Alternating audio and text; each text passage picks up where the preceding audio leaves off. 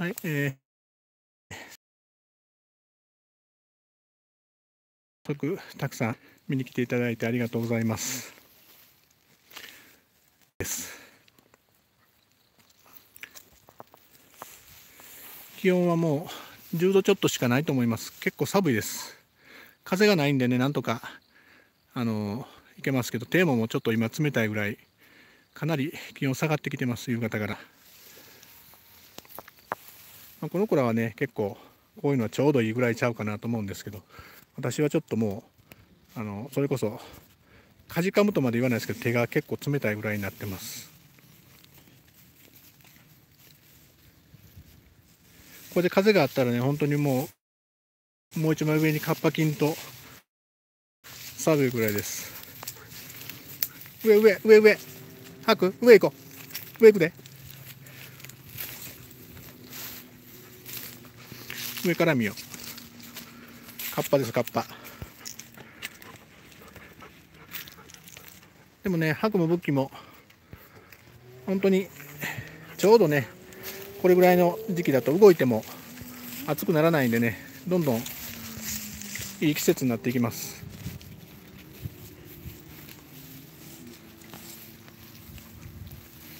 まあそれに従ってね白の好きなお友達はね出てこなくなっちゃいますけどまあそれも季節の流れで仕方がないですね。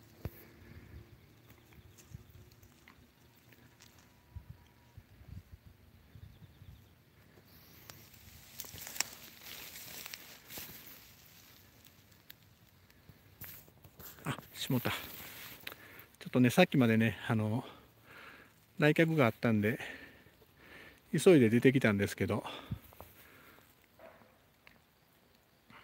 鶏さん出してくの忘れました。の真ん中のね V 字のところに沈むんですけどちょっと太陽は見えないですけどあの部分がきれいに色づいてきましたね。下田。失敗言いませんか？失敗した話ですよ下田っていうのは。失敗したってやつですよね。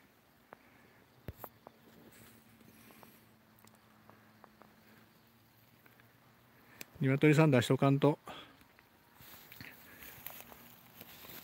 もうじきね時報音楽ですけど時報音楽聞こえてから降りていくともう暗くなっちゃうんであんまりあの頃遊べなくなっちゃうんでね。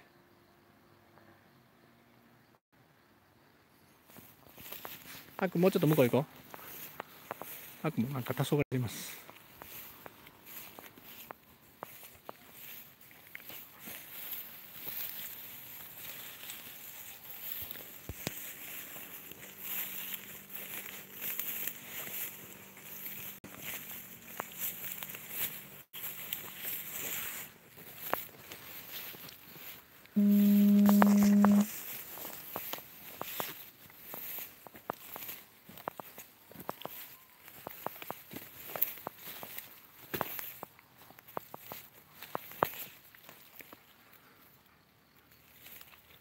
今日はじいちゃんも来てないんでね。鶏さんも今日一日鳥小屋さん中で残念な一日でした。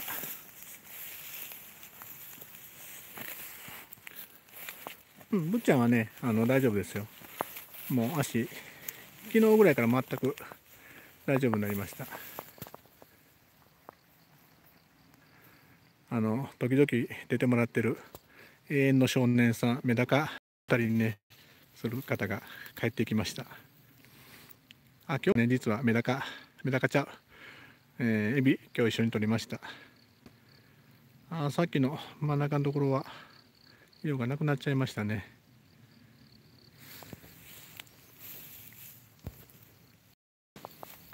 ぶっちゃんよかったねって。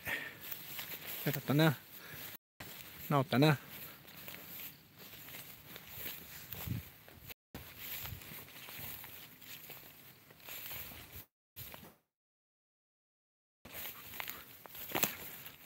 11月11日までちゃいますよ。あれは私一緒に仕事してる同級生です。11月11日までは。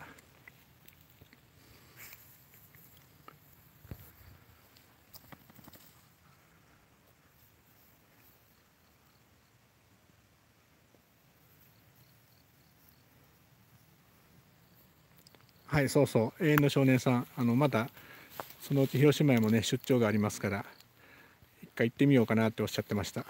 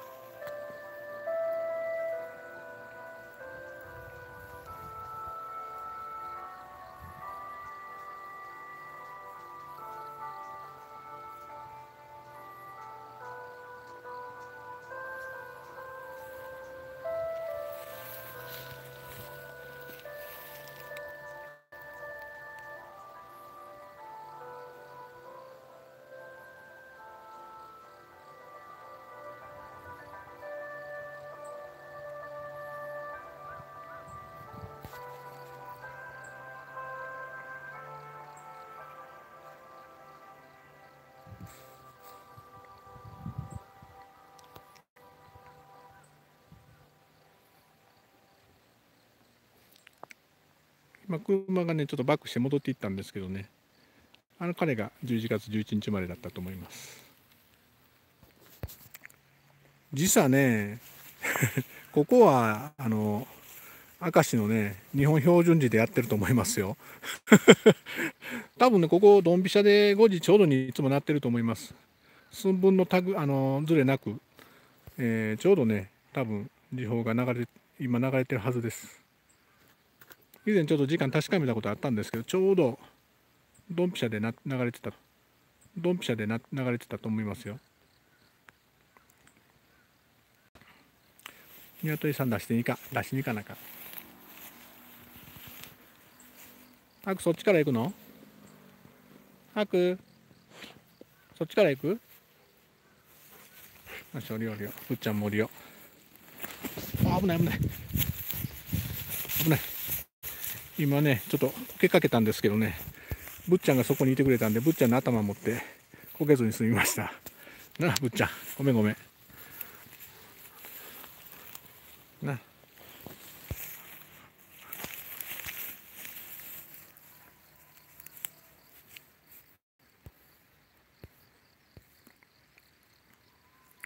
明石ね、はい、天文科学館ですよね。四五線の上のね天文科学館。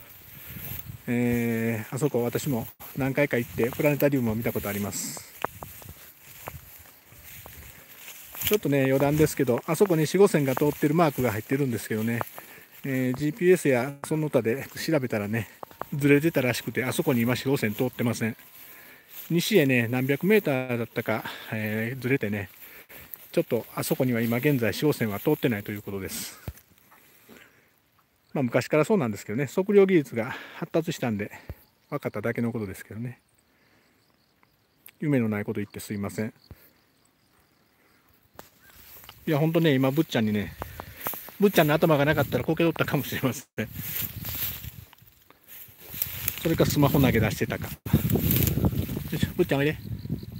おいで。ふんって何それふんって。ああ。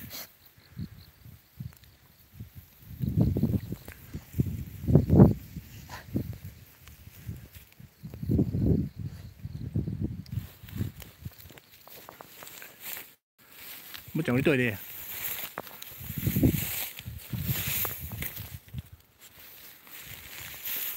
私が先に降りんとこけそうですね。よいしょ。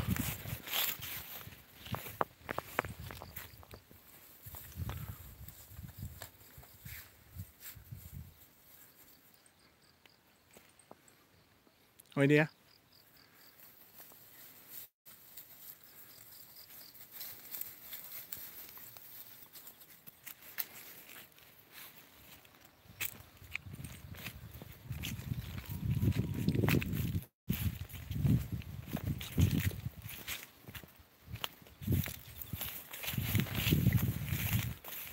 と歩くときにね、画面触れるのはご容赦ください。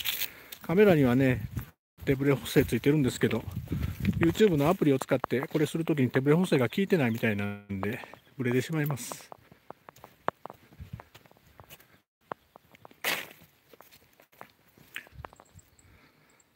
お次さんも今日は綺麗に見えてます半月半月っていうんかな半分ぐらい見えてますよ今日は綺麗です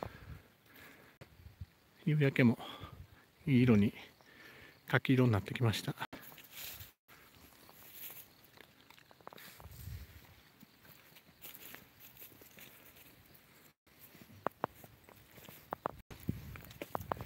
だんだんねこの時間にこうやってやらせてもらっててもね鶏さんが出るのがだんだん遅くなってあんまり遊ぶ時間がなくなってきましたね。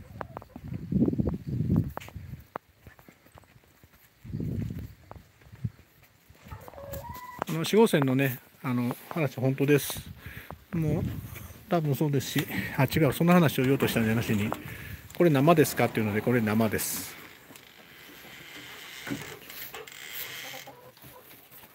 あれ？3つしかいない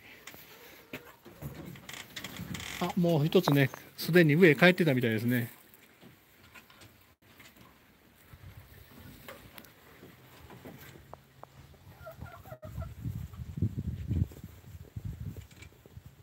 はいはい降りてきて外行かんと時間ないよ。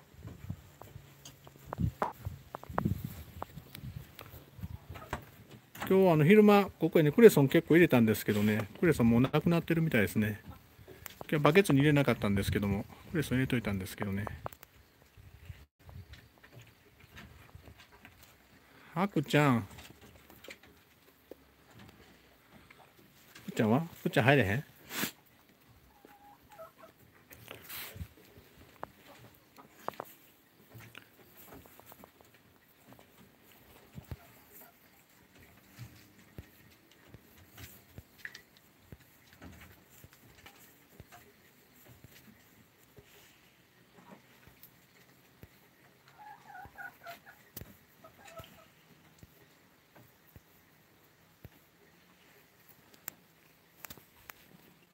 あくはね結構ねあのここに落ちてる柿のヘタとかね鳥のね乾いたうんちもね結構好きですよね。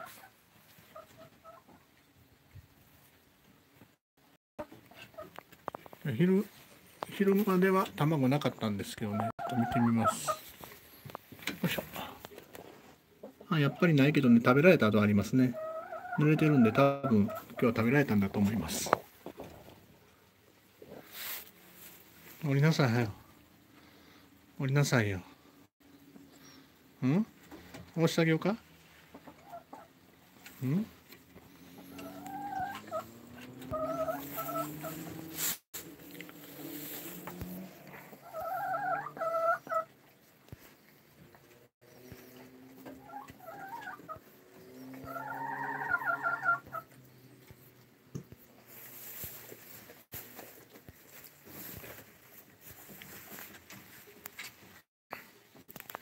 すごくいいとこですねって言っていただけるのは、大阪府あ、ありがとうございます。ちょっと私コメントが今なかったんで、今読んでたんですけどね。ブッキー？ブッキー入っといて。入りたいのやろ？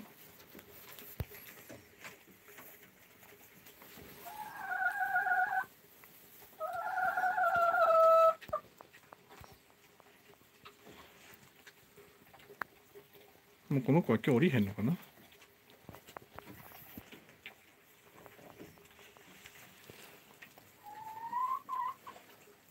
今日はねちょっと昨日ね私ソーセージ持ってきたんでソーセージをあげたいと思います。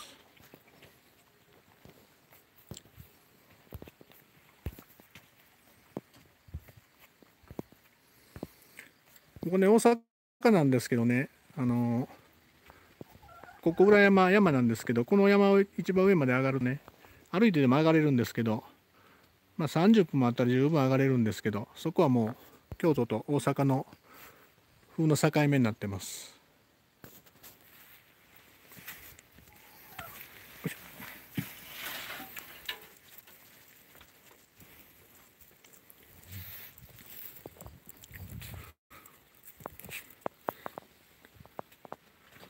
よいしょちょっと片手なんでやりにくいんでちょっと失礼しますね。よいしょっと。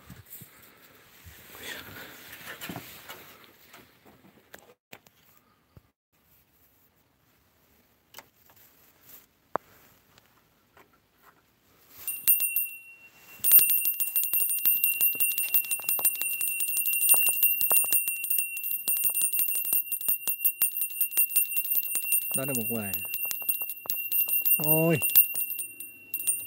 で、ソーセージあったんやろな。あ、あるある。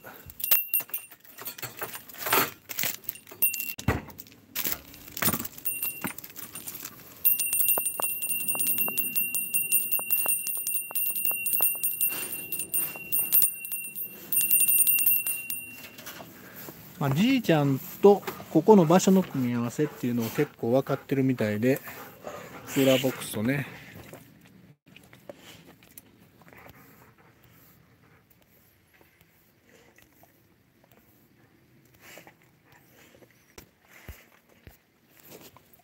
あんたら、口鶏のうんこ臭い。うんこ食べてきたやろ。はい。臭い。よいしょ。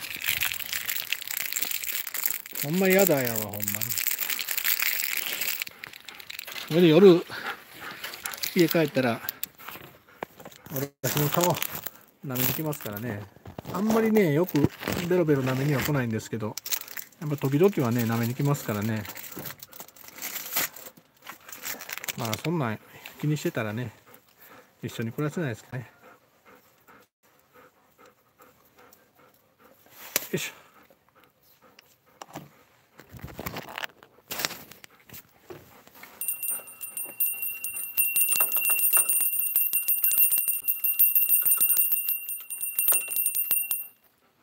ってちょっとあの出してすぐなんで鶏さんはきっともっと楽しいことしたいかもしれませんね。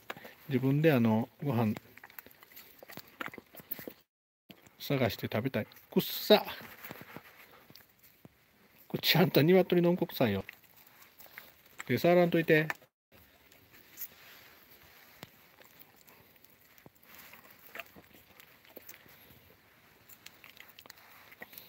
ほんまに臭いよ。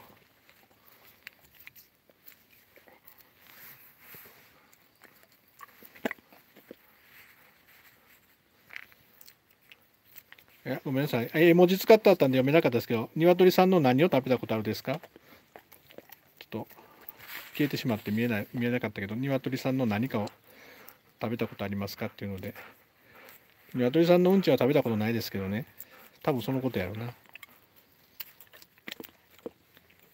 あのそんなすごく臭いもんではないんですけど、普段匂ったあんまりあのここで匂わない歯なのにここですごく鶏さんのうんちの匂いがしたんで多分この子らの口から匂いしたんだと思います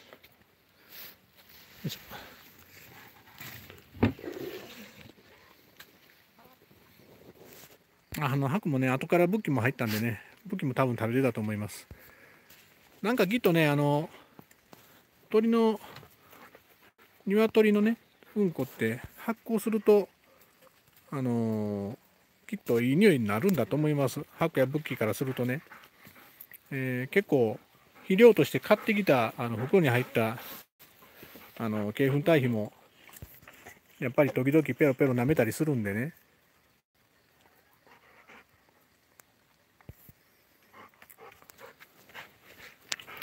よいしょ。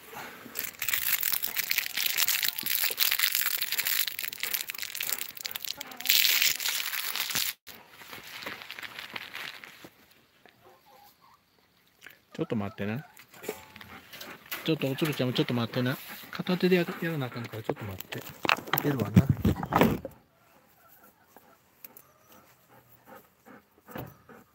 よいしょ。はい。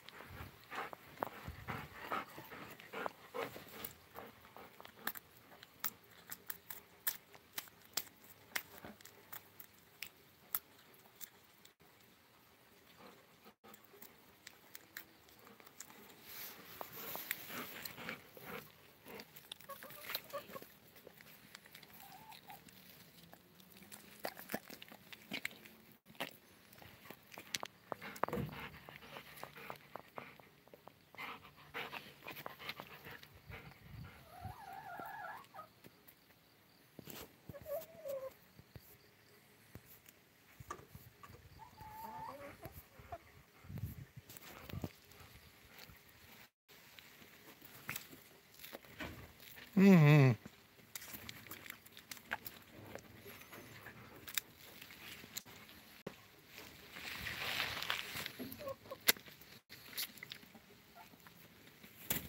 あ取られた。取られてあいつが持っていった。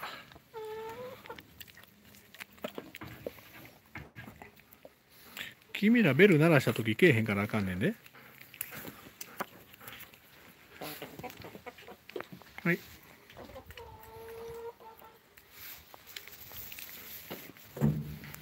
はい吐く吐く吐く。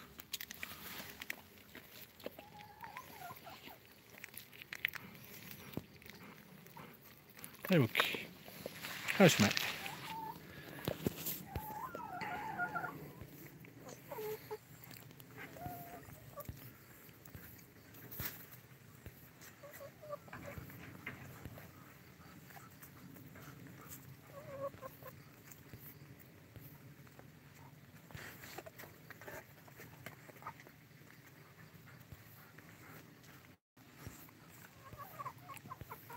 白やブッキーがね一番喜ぶもんっていうのね今書いてありましたけども。お肉ですかっていうの。もちろん肉も好きなんですけどね。今日朝あ昼かな。ちょっとお話ししたように。あのイノシシの生肉はあんまり喜ばないんですよね。で鹿の生肉はすごく喜ぶんですよ。であの今日コメントでねいただいたあのソーセージに塩分がどうのこうのっていうのであのもっともなお話で一般的にはやっぱり人間のものを与えずに塩分の少ないものっていうことになってますけどまあ正直言うて私はこの子らに塩分のこと気にしたことあんまりありません。それよりも喜ぶ痛い痛い。それ喜ぶものっていうのを考えてるんでやっぱり人間がものを食べる時に一緒に食べることってすごく喜ぶんでえー、ね同じものをできるだけあげるようにしてます。あとささみもね、あの乾乾かして与えられてるっていうお話でしてそれもすごくあの手間のかかることでいいことですけども私はささみ買ってきてあげる時はもうそのまま全部あげてしまいます。乾かさずに。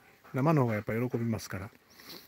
で今あのもうちょっとしたらねまた今度取りますけどここによいしょごめんあの春に取れたね鹿が入ってるんですよ。骨も入ってます。内臓も入ってます。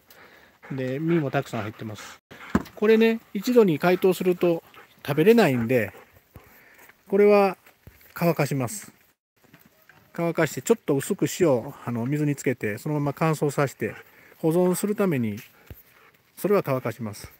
私はそやからささみはそんな大量に手に入らないんで普通はその場でまあやってしまったり生でやってしまったりちょっと加熱してレンジでチンしてやったりします。あと喜ぶのはねあの鹿の骨よりも牛の骨。牛の骨のねあの小髄はすごく喜びます。最近ちょっとね手に入らなくなったんでねあの長いこと牛の骨は与えてないですけど、まあ、鹿の骨でもねやっぱり骨髄は美味しいみたいです。あと関節。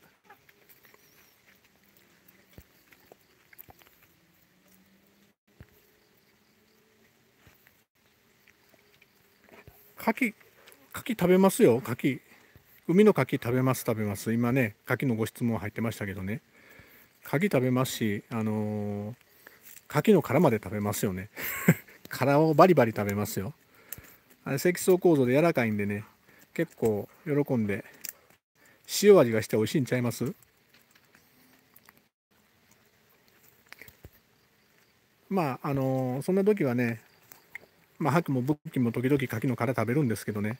そんな時は口の中から血が出てます。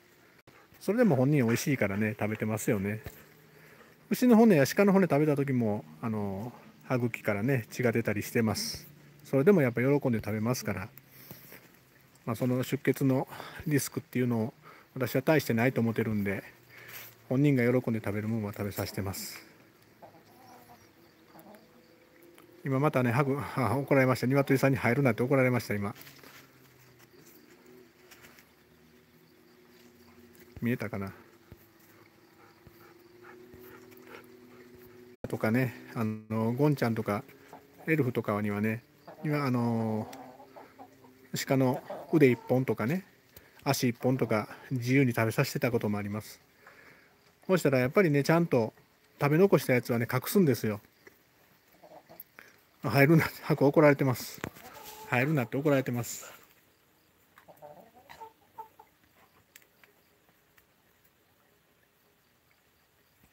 鹿あるのっていうのは鹿の肉のことですよね。鹿肉はあの送ってもらったことはないです。鹿肉は自分のとこで全部段取りしてます。今は鹿肉冷蔵庫、自宅の冷凍庫とここの冷蔵庫と両方に入ってますよ。今年の春取れた分なんでね。箱怒られながらも無理やり入ってきましたね。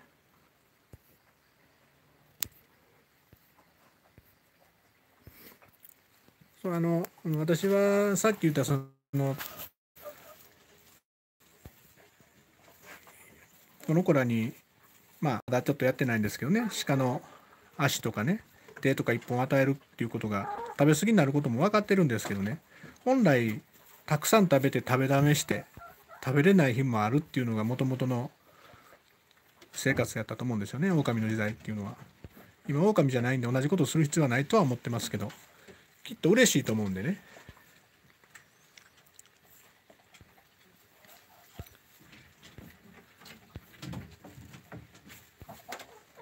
あ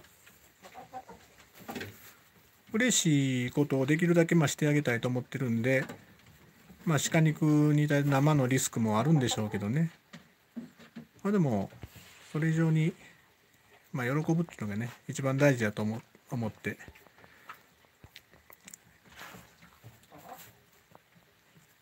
足一本なんていうとね食べ残しますから食べ残したやつをまた自分のねあの秘密の場所に隠すんですよ可愛いと思いません？本当。まあそれをねまた後から持ってきて食べるのを見るときっと嬉しいんやろうなと思います。まあそういうそんなことしてると腐敗してるっていう部分も表面あるんですけど全然そんなんで下痢しないですから。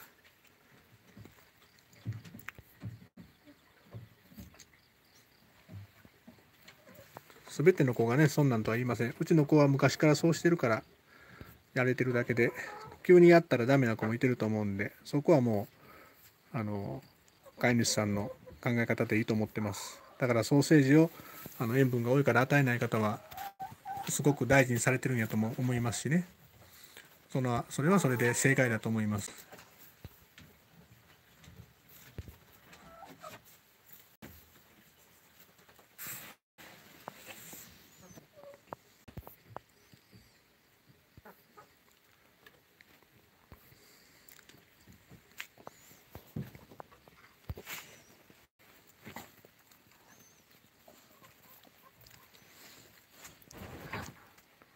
鶏さん帰っていったかな？おつるちゃん帰ってくださいよ、ぼちぼち。暗くなってきましたよ。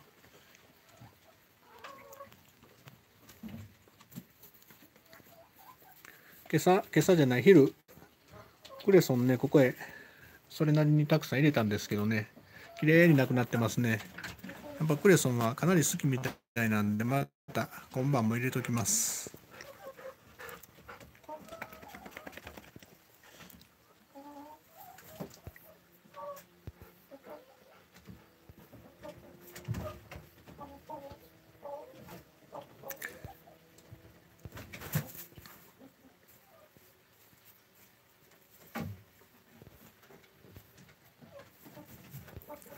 肉ねあの送ってもらうのはねあの送ってほしいんですけどね送料が高いんですよ。クールとかねああいうで送らんといかんのでね結構高くついちゃうんですよね。私もあの以前北海道からも取り寄せようかなと思ったことあるんですけどね。馬肉や鹿肉あの切れた時に買おうかなと思って見たことありましたけども送料がバカにならんです。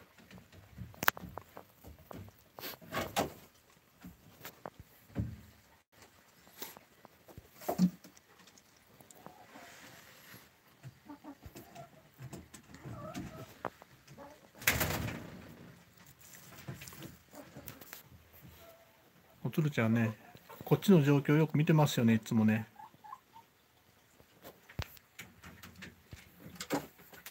馬肉も大好きですよ。あの道のくファームって言ってねあの馬肉の有名なお店があって犬のあの方たくさんそこで皆さん飼われて馬肉も売られてます。私もあの以前鹿肉が切れた時には馬肉道のくファームから注文して取ったことあります。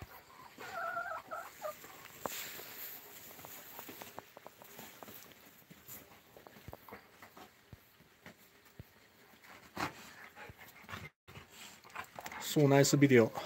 嬉しいですね。サンキューベリーマッチ。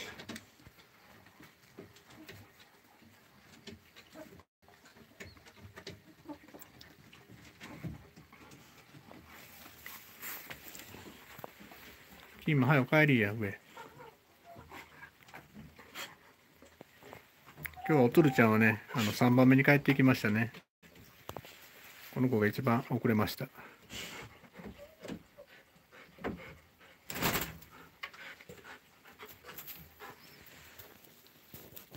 あく、あく。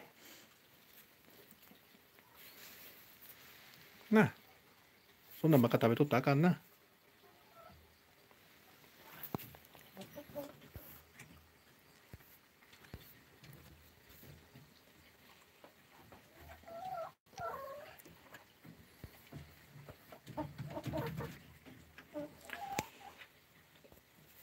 肉、あのこの頃は基本的に別にどこでも本当食べますし、あの肉と名が付かなくても骨でも食べるんでしょうけど、まああの、脂っこいもんが好きっていうのはありますよね。箱おいで。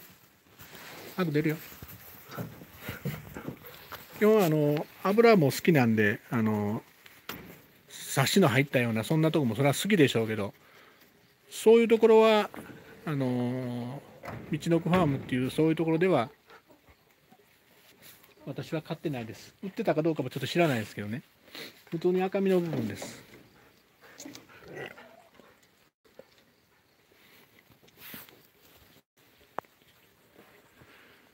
階段からね普通に帰った帰りましたよね。電気やよいしょ。ちょっと柿色見に行きましょうか。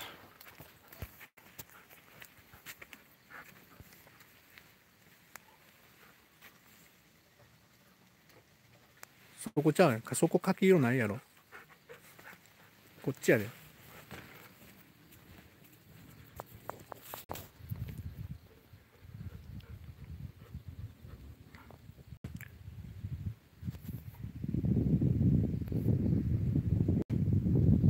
あの子がね、つつかれとった子かどうか、ちょっとごめんなさい、はっきり覚えてないですけど、あの子は逆にね、あの、おつるちゃんをつついた子かもしれません。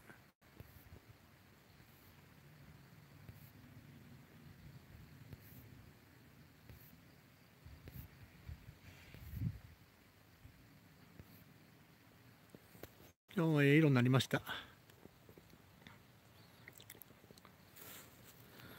ちゃんとね同じようにね同じ方向を見てくれるんですよ。私がねあのしゃがみ込んで何か見てると顔をそこへ突っ込んでくるのもね琥珀多いです。息吹よりも琥珀の方が多いです。私がこうやって景色見に来るとね同じように景色見に来るんですよね琥珀がね。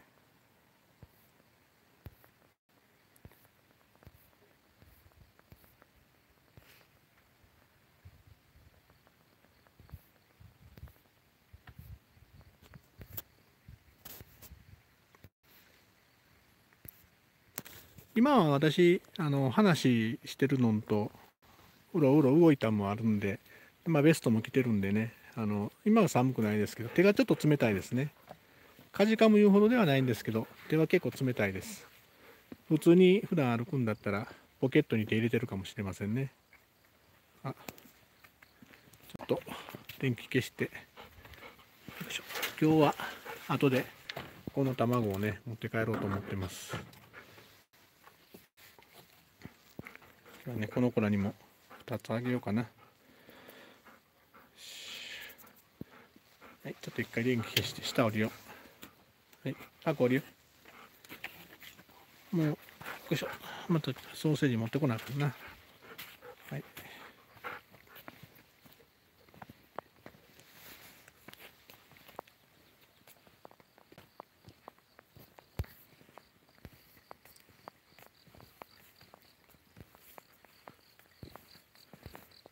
あの街灯、この辺はね、ないことないです。街灯ありますから、あの農道とかね、離道っていうような、あの個人の家の土地のね、道、離道ってあるんですけど、そんなところもあの街灯は最近ついてますね。ここはね、あのまあ、ここも離道っていう道なんですけどね、個人の土地の道なんですけどね。あ、なめこね、そうや、なめこちょっと見てきます。えー、なめこ、なめこちょっと見てこう。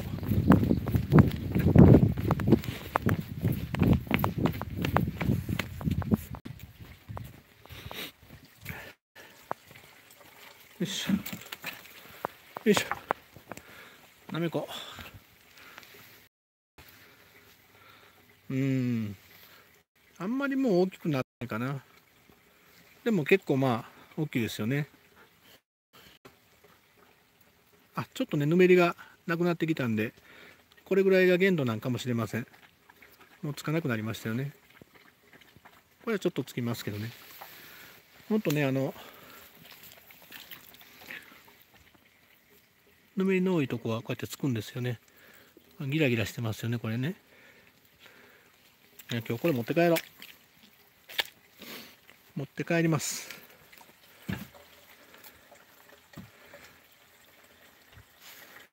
はい。私はね、昨日じいちゃんがこうちょっと土木工事して、まだ残ってる。は、ぶっちゃん何食べてんの？あ、クレソン食べてますね。クレソンです、これ。よいしょ。足で押さえとる。今日昼に与えたクレソンがちょっとここ落ちてましたね。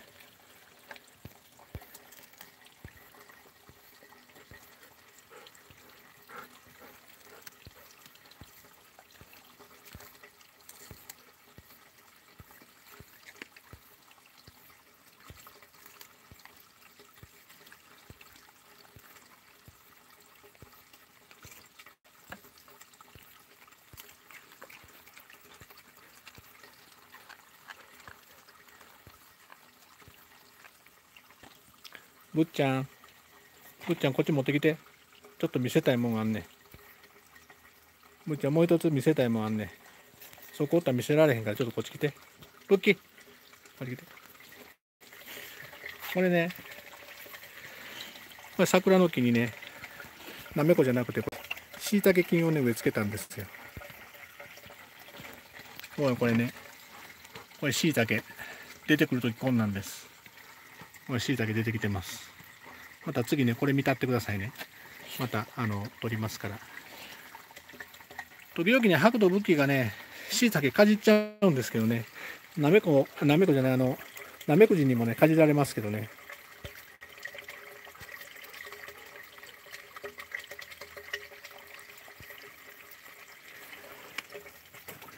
なめこね、あの、小さい方が美味しいのかもしれないです。けど売ってるのはみんな小さいですよね。私は大きくなったやつを結構ねあのむしゃむしゃ食べるの好きなんで大きくなってから取ること多いんですけどね。よいしょ。はい。鍵閉めたしこう。なめこね大きくなるとねあの成長止まると表面のぬるぬるってあのー、なくなっちゃうんですよ。乾いたみたいになっちゃうんですよ。そのタイミングで取るとね、えー、安いんです。ゴミがつきにくくて。でもね、またあの鍋に入れたりとか、味噌汁に使うと、またぬめりが出るんで大丈夫なんですよ。独特のぬめりが待ってます。あの椎茸もね、またあれが、あの、大きくなりますんで、また取れたら取ります。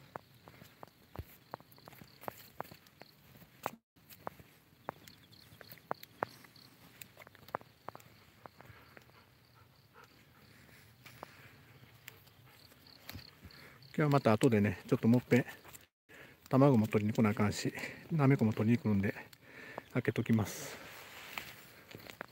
もうね、下品なこの女の子。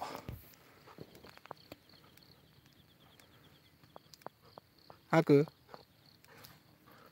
下品やで、ね。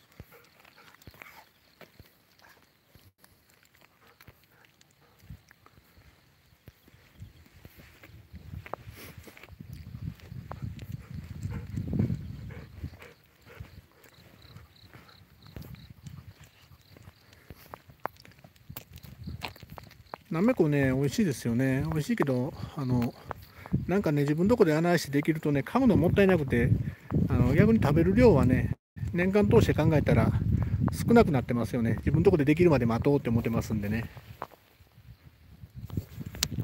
おーい。おい。帰ってこい、帰ってこい。ハグ、ブッキー。ハグ。はい。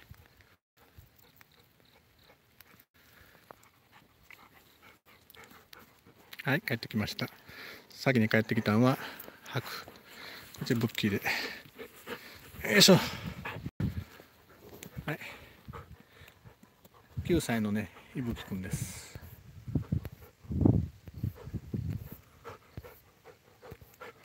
ハク？ハク？はい、これね、ちょっとハクはね、おとなしくしないんでね、取りにくいんですけどね、顔。ハク？これね、えー、10歳のね、元気なおばちゃん、琥珀です。まあ、熟女って言うときます。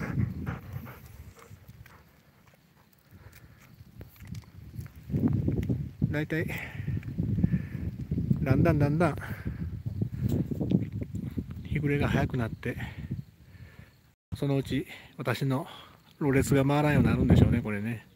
寒くなって口が凍えて回らんようになると思います。それまではね、えー、夜暗い中でまたちょっとやりたいと思います。月もね、今日は出てます。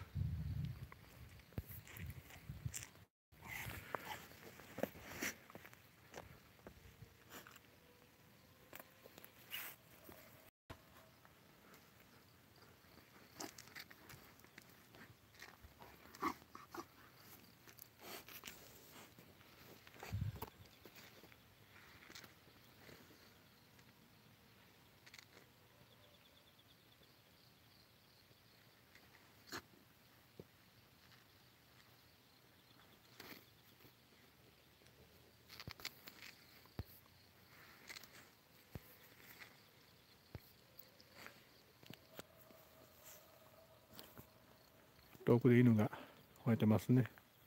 私ヘッドライトつけてないですよ。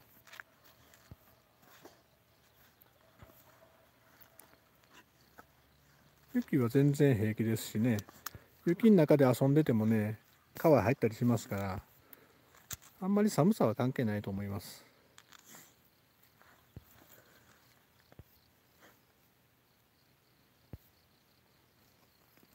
ちょっと今白がね降りてまた柿取りに行きました。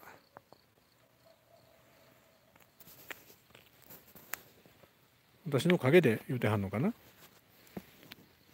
これですか？ヘッドライトはつけてないですけどね。頭の髪の毛はあのまあそれなりですけど。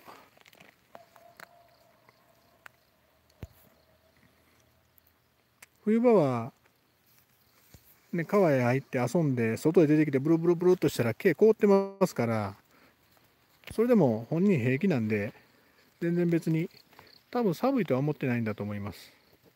寒かったらなんでしないと思うんですけどね。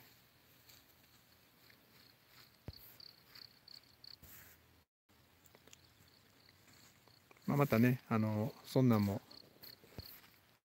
うまくいけば動画で撮れるかもしれませんしね。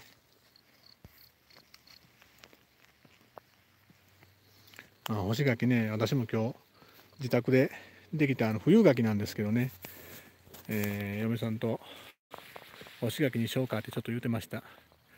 全部食べれないんでね。まだちょっと硬いんでちょうど今やったらまた干し柿になるかなっていう時期なんで。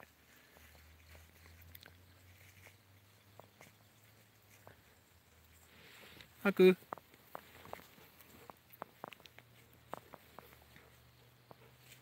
吐こいで。はい、おいで。はい、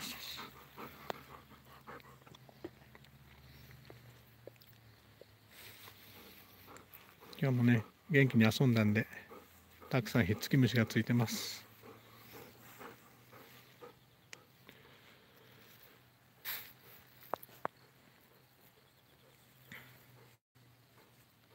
ぶっちゃん、ぶっちゃん。ぶっちゃんって言うたらあかんの？ぶっちゃんって言うたら今手に八つ当たりしてました。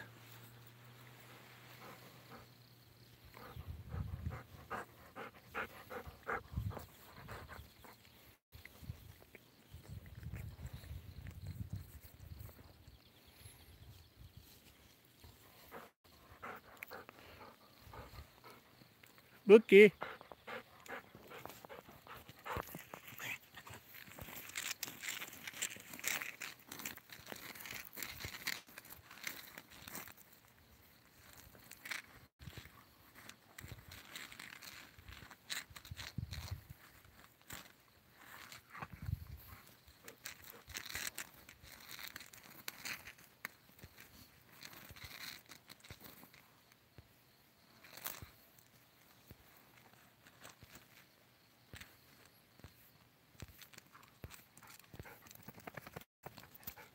ナットね、ナットの件、はい、あの私は納豆好きです。えーと、実家で暮らした頃はね、あまり食べなかったんですけど、まあ、妻と結婚してあの納豆はよく食べるようになりました。納豆美味しいと思います。近くにね、納豆食べ放題のお店があって、えー、そこ行ったら大体10パックぐらい食べますよね、1食で。納豆食べ放題なんでね。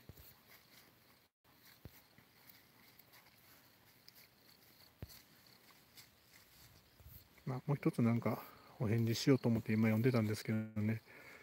あ、そうそう、うん、そうですね。今、後ろのね、あの、センサーライトが消えました。あ、それ、ほんで、納豆ね、あの、納豆って、わらで包んで作りますよね。友人の、あの田んぼの稲は、まあね、あの農薬も少なく作ってるんでね、その藁使って一回ナットも作ってみようと思ってます。納豆仕方なく食べるんですか？私納豆好きですけどね。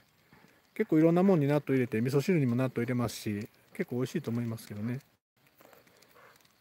納豆食べ放題っていうのはねあの食事を提供してるあのグリトヨキッチンっていうあのお店で検索してもらったら出てきますけどグリトヨキッチンね。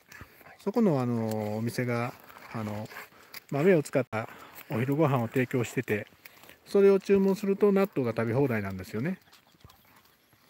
納豆菌はね納豆にあの、えー、納豆じゃないわあの稲の藁についてるんですよ。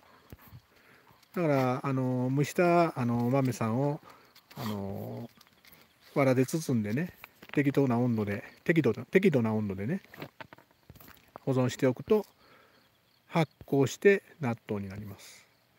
でねそれがあの不安だったら納豆をちょっと足しておけばあのその納豆菌がよりたくさん活動してくれるんで納豆になりやすいそうですよ。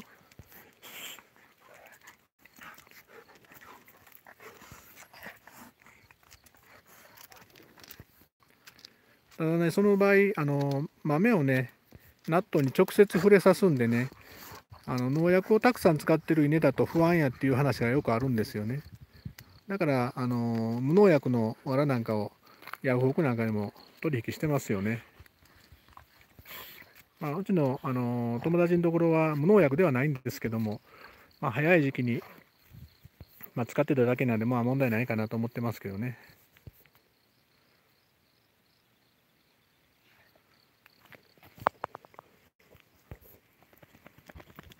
あ、の長いことねお付き合いいただいて申し訳ないんですけど、まあ、こうやって見ていただいて分かるように私はこうやってね白と仏器の遊んでるのとかねそんなのずっと見てんのって全然苦にならなくて退屈じゃないんでついついこうやってねいつまでも見てしまうんですよ。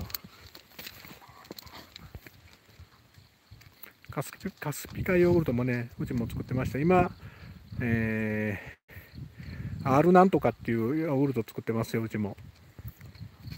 R 何倍やったっけ？数字に入ったやつ。普通のねヨーグルトよりもちょっと温度高くしたらねよくできましたよ。R なんとかは。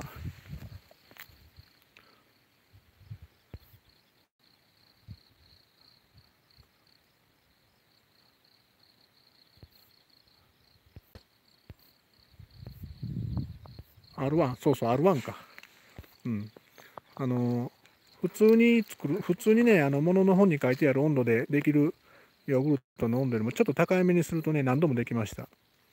1回はできるんですけどね、ちょっと低いめの温度だとね、2回目がダメやったんですよ。それがね、ちょっと温度高いめにするとね、うまくできるようになりました。ああ、こんなんね、発酵の話をしてたら、今日、甘酒作ろう。家にね冷あの冷凍庫にねあの米麹が入ってるんですよ。お味噌用なんですけどね。それで今日はおかえさん作って。うーん。あれ作ろう。あれや。甘酒や。甘酒も脳梗塞やらにえって聞きますからね。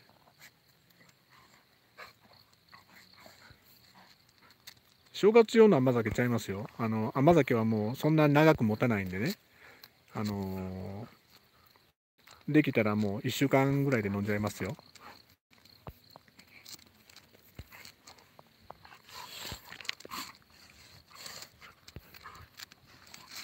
え誰ですか？何でもご存知なんて。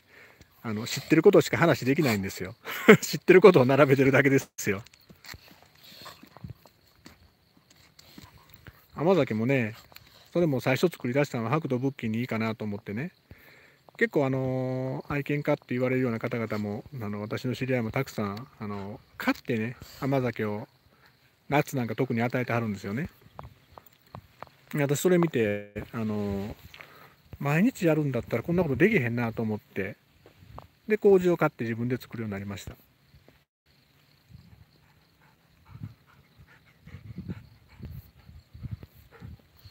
の私お酒がダメなんでね酒粕で作る甘酒はダメなんですけど麹で作る分アルコール分が入ってないんでねあれも私大好きです。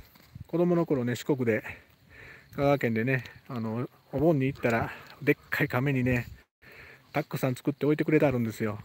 でそのあのー、甘酒をねおじいさんがねお前お前じゃないお前らいとこらもいてましたんでねお前らその上でよだれ出したらあかんぞってよく言われた今でも覚えてます。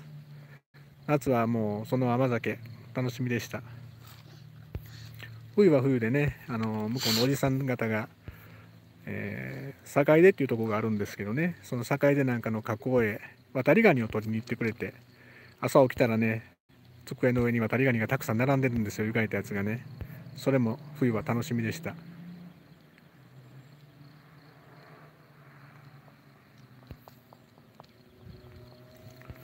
ね、あの、おかえさん作ってね、ウッキー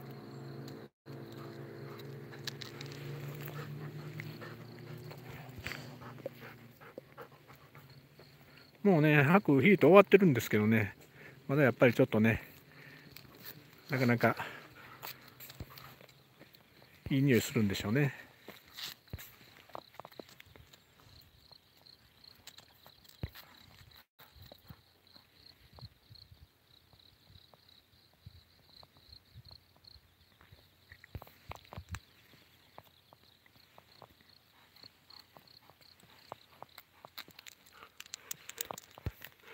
もうね、今、武器が乗ってもね、もう白の方が、あの、かからないと思いますけどね。あの、ちょっとしょげてますよね。ちょっとしょげてますよね。ほんとほんと、しょんぼりしてますね。あのー、もうそんなんもう関係なくね、ヒートの着てる女の子の横のとこ行ったらもう、あのー、人間の静止も止まれへんぐらいの男の子も多いんですよ。仏器はね、そういう点ではね、すごく、あの、吉居明けのいい子です。ダメやって思ってるんでしょうね。な。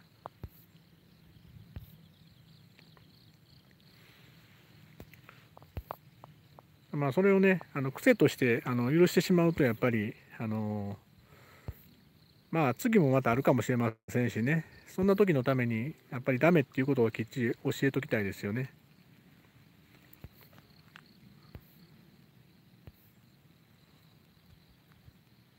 ああやってね体当てるのはねあのまだ発情してる気配が琥珀に残ってるんだと思います。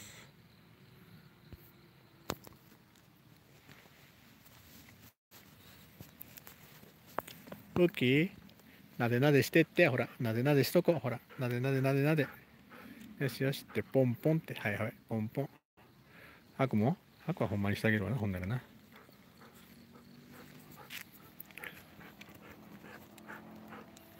パケットもねあのドコモの今30ギガの分を契約しててね十分あの一月分で余ること分かったんでね今日は私も時間がちょっとあったんで余分にあの遊ばしてもらいました。たくさんね長い間お付き合いいただいて。申し訳ないですけど、まあ、これもまたねいつか見た時にいい思い出になると思います。いやもう別居はしてないですよ。大丈夫です。あのまあまずもうあの日にちからしてかかることないんでね。もう今日は別に大丈夫です。ただあの目の前でね乗っかられるとやっぱり乗ること自体がダメっていうふうに教えておきたいんであの息吹が、まあ、ヒートの時の匂いのために乗るのはもうちょっとねダメって言うときます。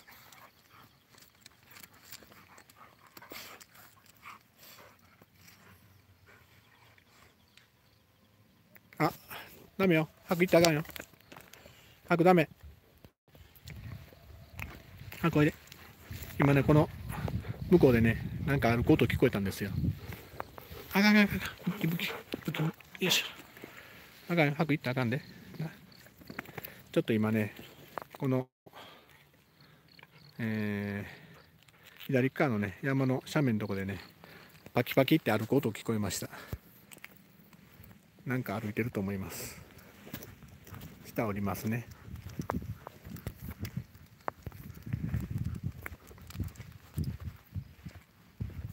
ハク行かない行かない行かないハク行かない。行かないよ。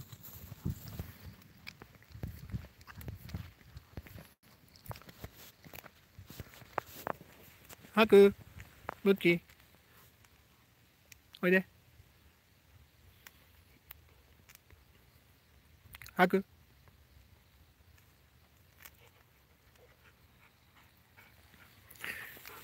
はい。これね。ハクちゃん、はい、これね、えー、10歳のハクちゃんです。こっちは9歳のいぶきくんです。今日はね柿たくさん食べましたから大丈夫ですよ。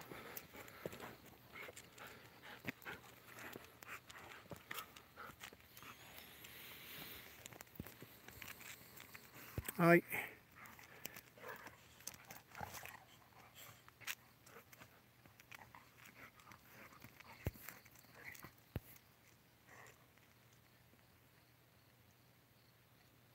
イノシシ出た時の猫っていうのはちょっとあのここに今猫うちは飼ってないんですけど自宅からはもともと猫出てないんでねあのまあうちの猫がイノシシに会うことはないんですけどこちらのその向こうのねお宅の猫ちゃんはいつもあの飼い主さんと一緒に歩くんでイノシシに出会うことも多分ないと思いますあ柿拾いに行きましたよ自分で。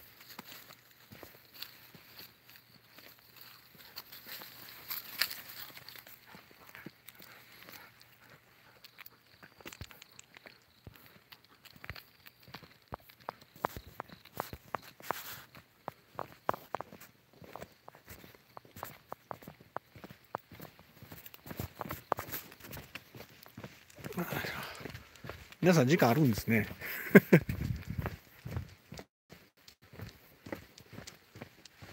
よし。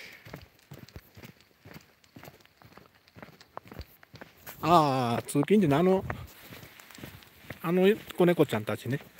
あの子らはどうなんですかね。すぐ近くにイノシシ出てんの私も確認してるんですけどね。ちょっとその辺は猫に聞いてみるとわからんから今度聞いときますわ。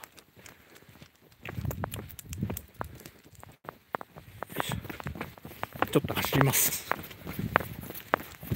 ちょっとごめんなさい揺れます。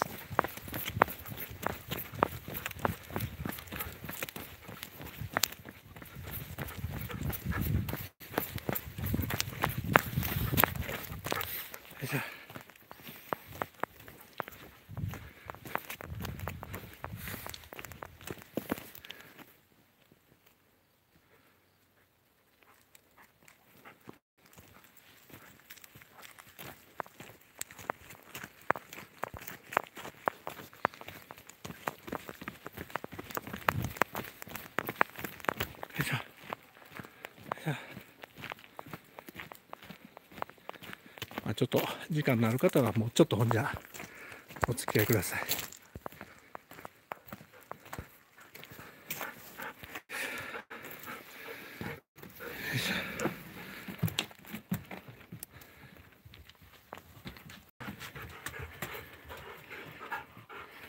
ちょっと一瞬切れるかもしれません。Wi-Fi に切り替えます。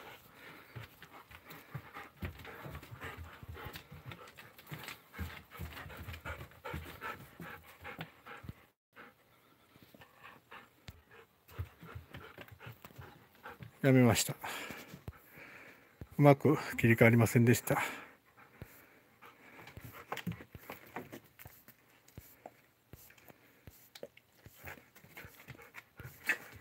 スタイル抜群。ありがとうございます。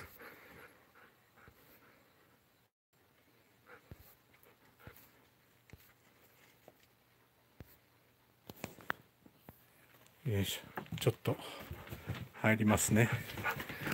よいしょ。ちょちょちょちょ。寒いから閉めるよ。よいしょ。これね。あ、前も言うたか。カラスウリね。最初ここに置いた時緑色やったんですけどねもうこんなに柿色になりましたあこれ前にねお話してた蛇の皮ね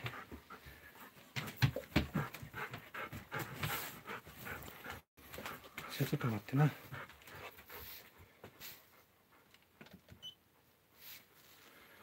よいしょよいしょよいしょ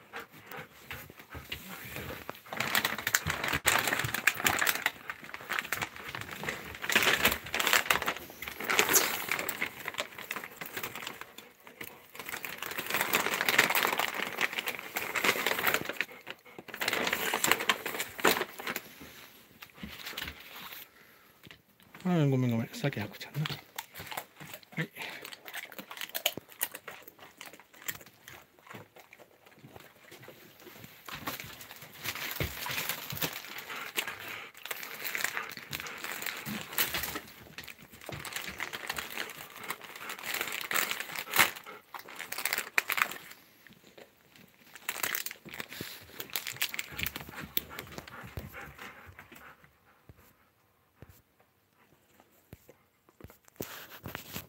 とお待ちくださいね。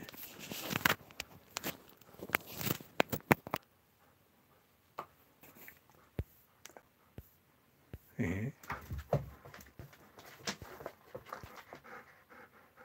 おやつあげる順番ねあのあんまり深くこだわってはしないんですけど、まあ、できるだけね吐くからあげるようにしてます。まあ、年齢的なものがあるんであのやっぱりハクちゃんの方をできたら先にあげるようにしてます。それもね、あの適当にしか考えてないですけどね、そんなにどうしてもっていうことはないんですけど。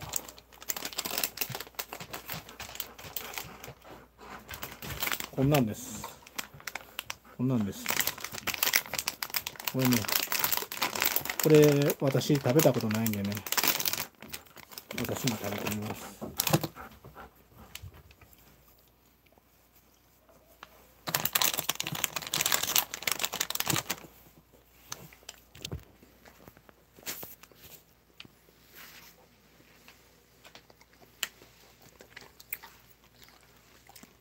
普通に美味しいですよこれ。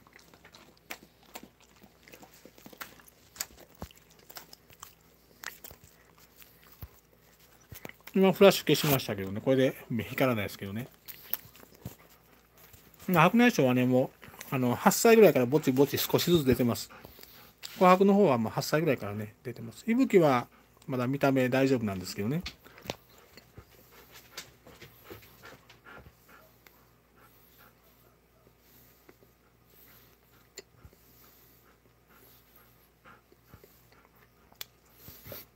めんなさい、ラストリブって何ですか？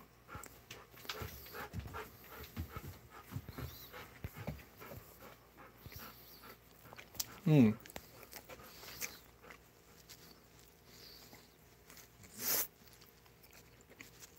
うん、美味しいですよ、これ。別に、あの、美味しい、美味しく食べるために、あの、試食するんではないんですけどね。時々多分僕不在と思うんですけどすごく苦いのがあったりするんでね。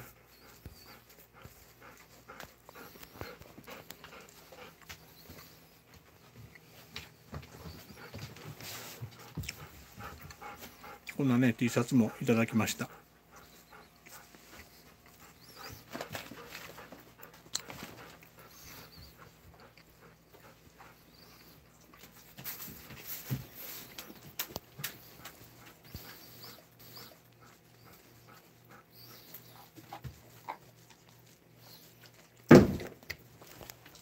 頭打った。ちょ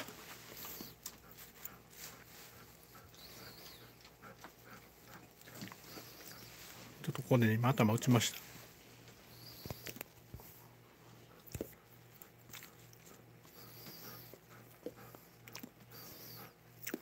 人間ほどね痛さっていうのもあんまり多分ね感じてないんだと思いますよ。結構あのコンクリートの上で転がってね頭ゴンゴンゴンって音してますけどね。でもあんまり痛そうな顔してないですしね。でも本当に怒りたい時まあ叩く時にもね少々叩いても遊んでもらってるぐらいしか思ってないみたいなんでね結構痛さには鈍感だと思います。まああのその証拠にその病気とか怪我でねあのあ怪我でね痛い時にもあのあんまり人間ほどは多分感じてないように思います。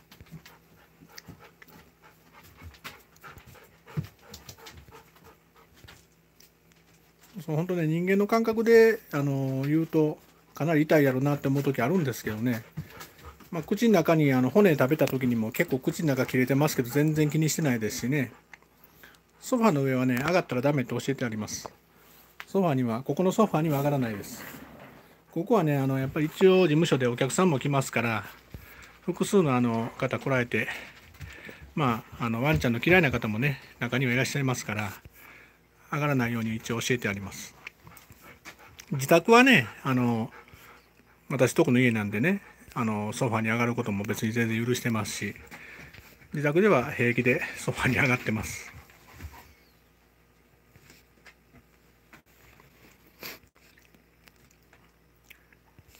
ああ、さっきからね、ちょっとね、鼻をすする音って話が出てましたけどね、ちょっと外やっぱ寒いんですよ、結構ね。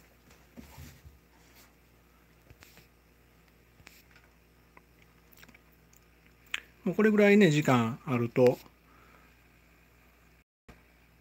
こんな風にね、すぐ落ち着いてくれます。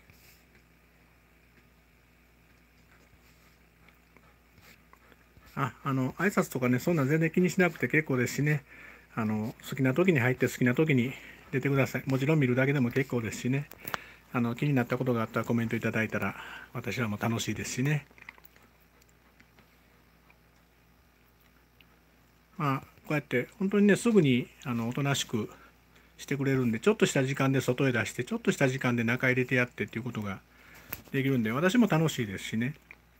これは、まあ、この子らも結局得なんだろうなと思います。あそれとちょっとねあの昨日ねちょっと間違ってじゃないんですけど違うあ違う違う違う違う違うって。あの予約投稿するのにね新しいいずれ YouTube の画面が変わるっていう風になってたんで新しいところから予約投稿をしたらプレミア投稿でしたっけ？なんか違うので投稿しちゃったんですよね。そうするとチャットがまあできるようになってたっていうことになってえー、えー、何やったっけ？何人かの皆さんにね書いていただいてたんですけどまたそれを今度ね、あの私もチャットに参加してできたら面白いかなと思って、またそれをやろうと思ってます。ちょっとね、さっきね、これを触ったんですよ。これを触ったらね、急に起き上がってきたんですよね。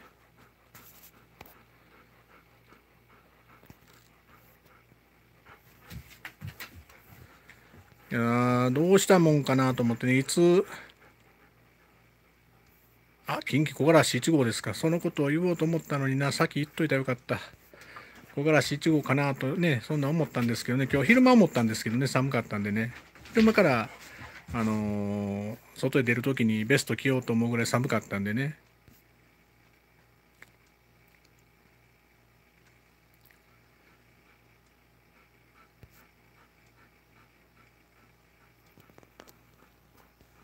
今日はあのお話出てた絶版。ベロのねこういう黒い模様。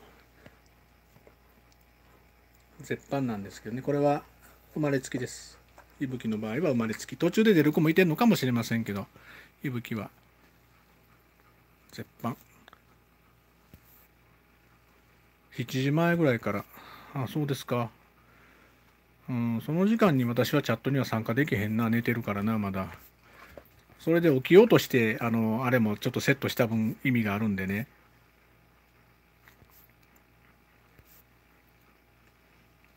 よいしょ。ねもう一個ずつあげようか。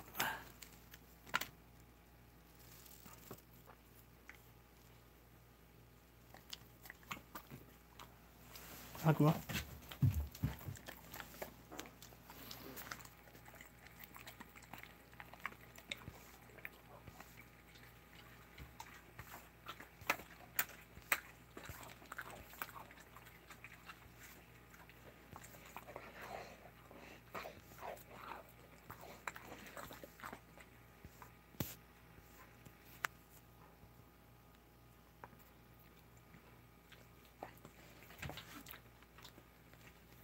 これねあの実際見ると全然違うんですよ本当はね。大きさが結構違うんでね。あの実際に見てもらったら多分間違うことないんですけどね。頭の大きさもねだいぶ違いますしね。背中から見た時の太さもあのこれでは分かりにくいんですけど全然違うんですよ本当はね。まあまたあの機会があったら実物見に来てもらったらすぐに区別はつくと思いますよ。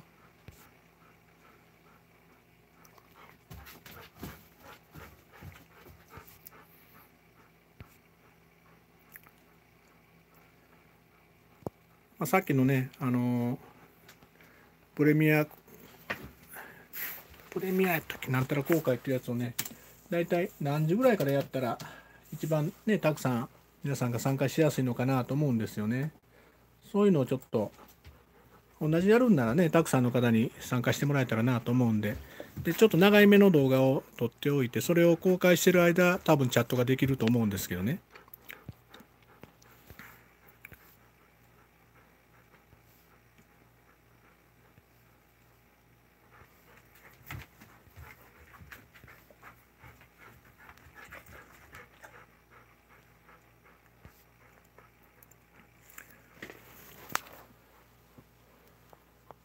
えー、っとね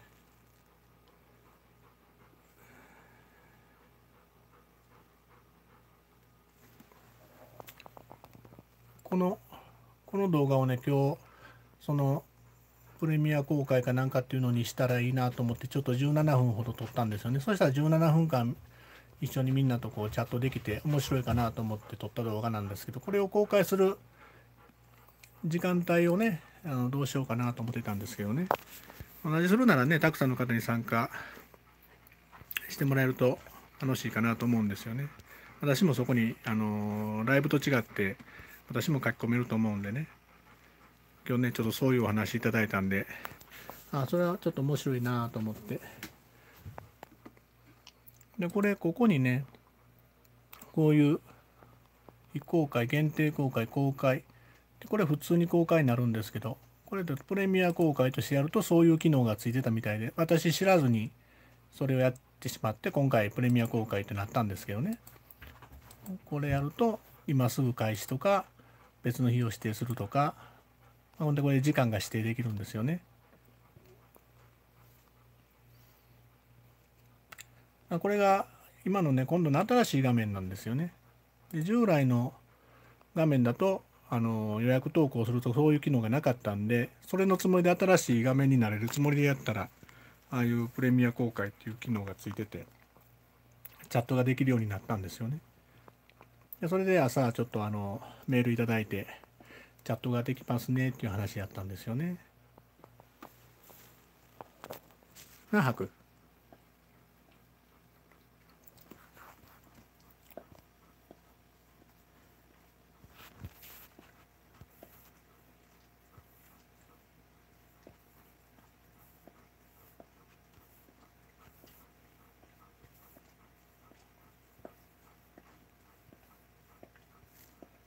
あジャーキーですか？ああ、ジャーキー向こうね。向こうのことかな。うん。あの、あれはもうちょっと今日閉めて帰りますけど、これはもう今日ね、みんなあげちゃおうと思ってますんでね。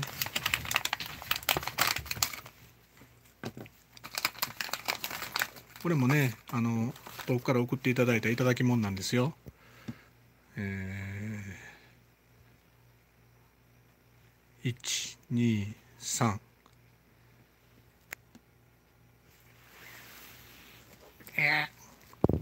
よだれ落とされたよだれ。よだれ。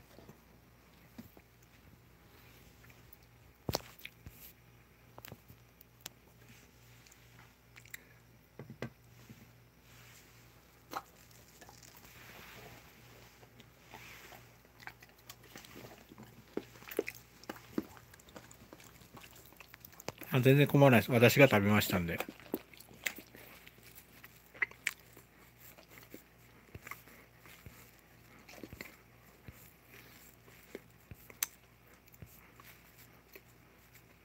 もうない。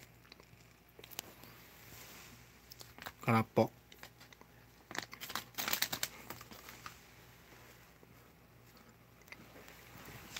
ちょっと待って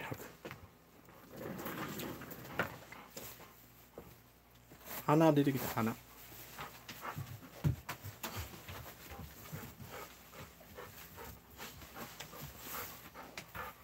いしょ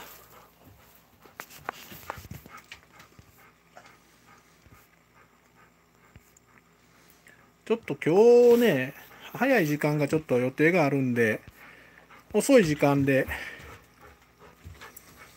やりたいんですよね。7時から9時はちょっとごめんなさい。できへんな今日は。今何 ?6 時。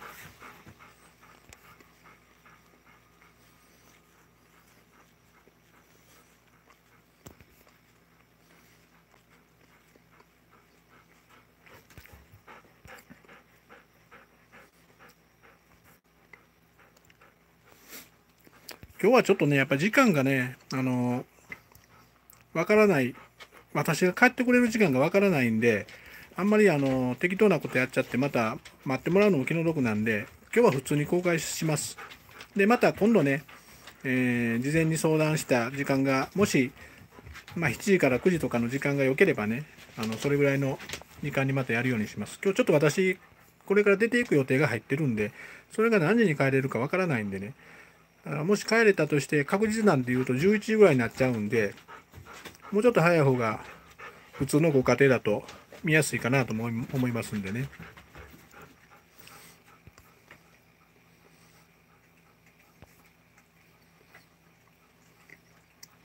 うん、ちょっとね今食べながら話してるんでちょっと変ですけどごめんなさい。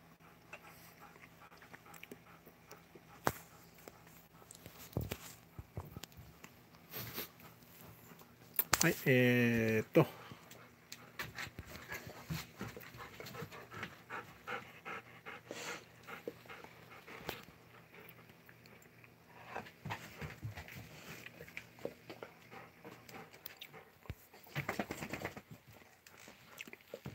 私別にそんなに忙しいわけじゃないんですけどね、えー、ちょっとね、今日はもともと出ていく予定が入ってたんで、出ていこうと思っちゃってるんで、で、さっきからはちょっとね、さすがにできないんで、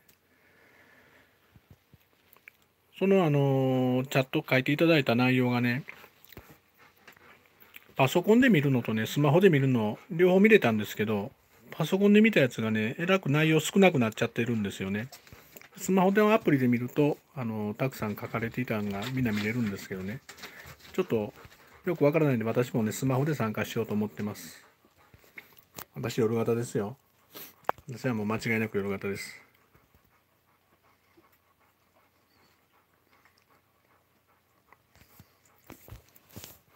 ジャーキーね。ここにねこれあのいただいた方の名前が入ってるんですよ。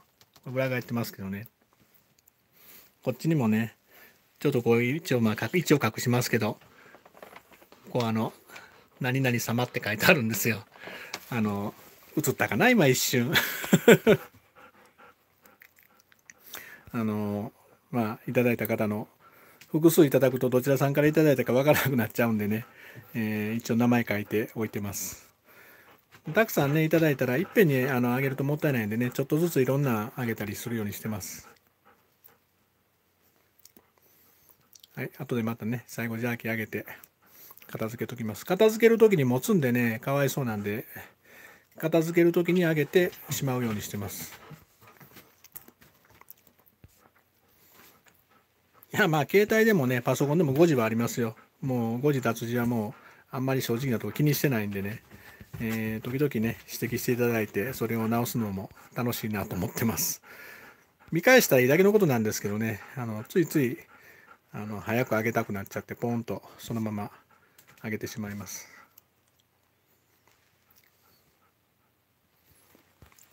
ね可愛い顔してるでしょこうやって見るとね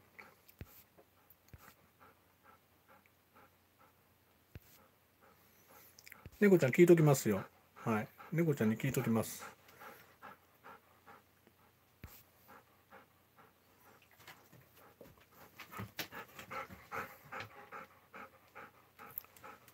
まあ、こうやって見るとね、あんまり顔の大きさ違わないんですけど、実物はだいぶ違います。ちょっとでもこう近いとね、そっちが大きく映っちゃうんですけど、まあ、正面から見るとね、今、だいたいこれ正面ぐらいなんですけど、こんな感じで、やっぱり息吹の方が大きいですよね。こんなとこで勉強しないでくださいよ。頭の体操しないでくださいね。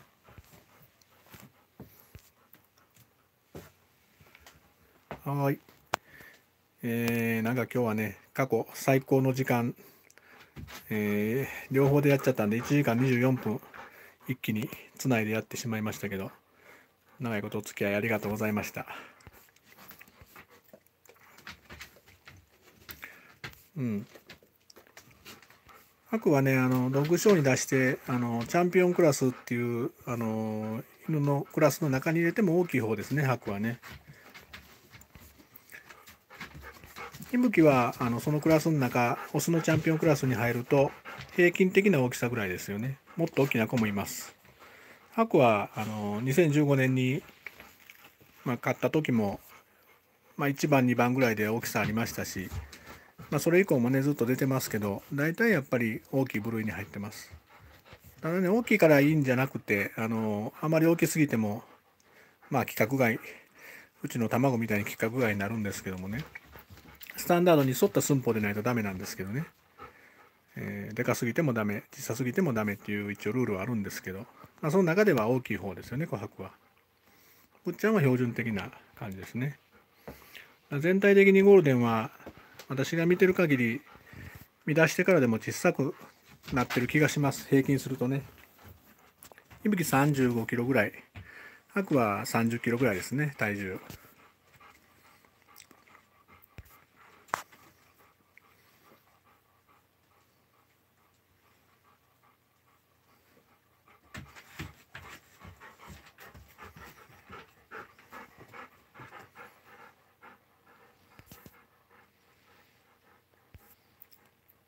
ああ、昔の写真ですか。どのことかな、ちょっとわからないですけども。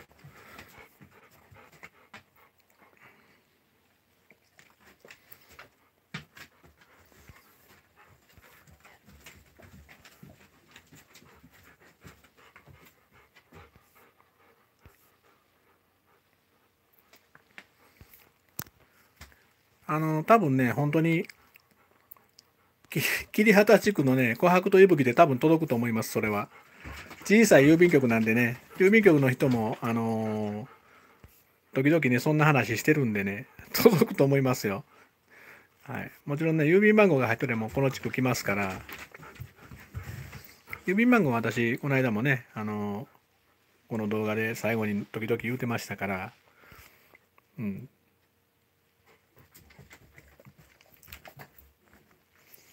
まあ、あの、届くのは届くと思いますけどね。まあ、あの、時々ね、いろいろ送っていただくの嬉しいですけども、あの、もう皆さんお金は使わないでください。あの、お金使わずにね、こうやって楽しんでください。本当に、あの、私もそれで十分楽しませてもらってますしね。まあ、もうこれで、本当になかなか楽しいシステムだなと思います。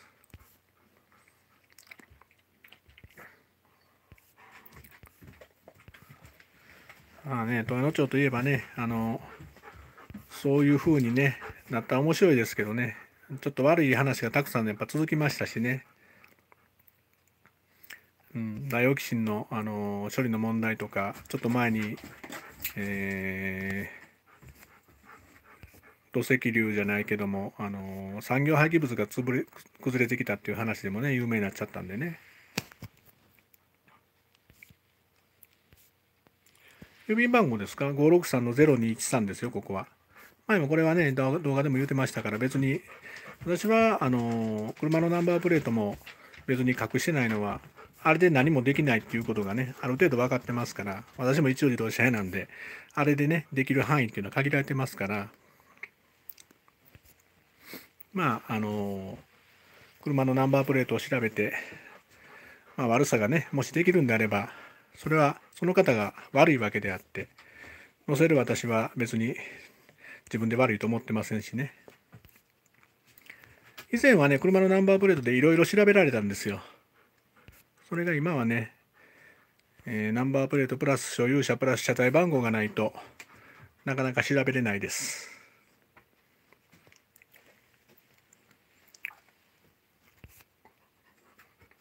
時々ね、あのコメントでもあのご親切に本当にナンバー隠した方がいいですよっていうコメントも頂いてるんですけどね、はい、私はあのその車のナンバープレートでできることっていうのは大して今のところないと思ってますんでね。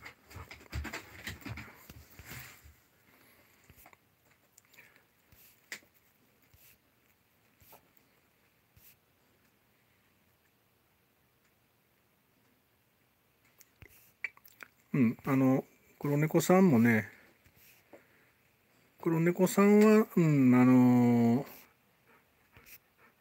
ー、何度も届けてくれてるんで、多分、うん、来ると思いますよ。あの、前に行ったあの野間の桶焼っていうとこがあるんですけど、その野間の桶焼の本100メーターか200メーターほどね、離れたところに、えー、黒猫さんの配送所があるんですよね。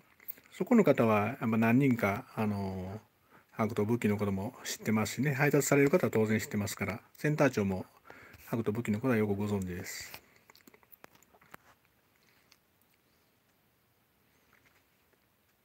まあ、大きな犬のおじさんっていうのはねもっと大きな犬はねこの辺り他にもいてますからその辺りはちょっと大きい犬っていうのはちょっと具体的じゃないと思いますけどね。あ、そうですね。あの、いや、まあ、もう送っていただかなくても結構ですけど、あの、本当にお金使ってもらうの気の毒なんでね、あの、それは結構ですけども、はい、あの、まあ、いただいたものにはできたらやっぱお礼も言いたいですから、連絡先は、連絡先と、まあ、できればお名前は欲しいですよね。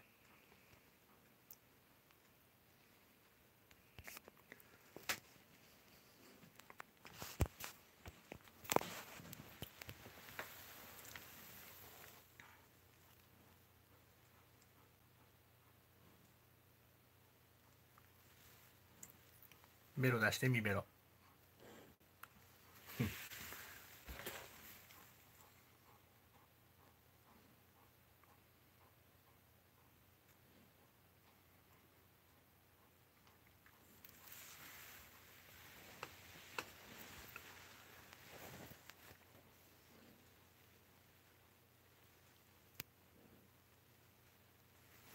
明らかにも他にもねあのゴールデンもいますしねあの私が知ってる限り、えー、ポンっていう犬もいてますよ、ポン。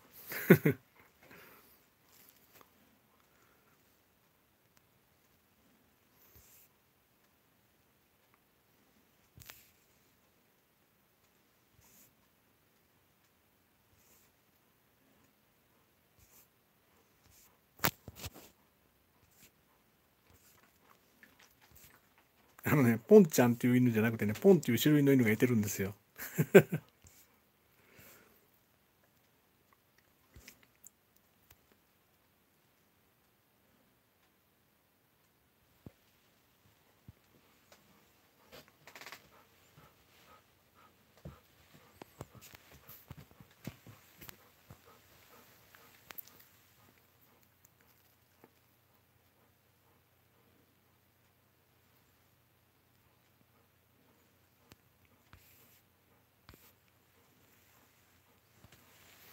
まあ、正式名称かどうかっていうのは別としてね、えー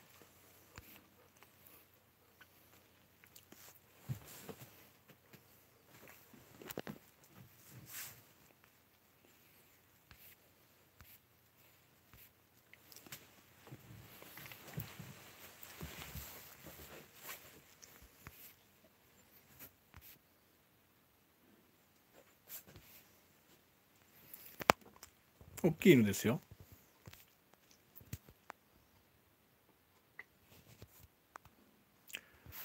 えっ、ー、とね、よく似た犬でね、なんていう犬やったかな。それの名前が出てけへんからさっきから考えてるんですけどね。えー、名前忘れたな、も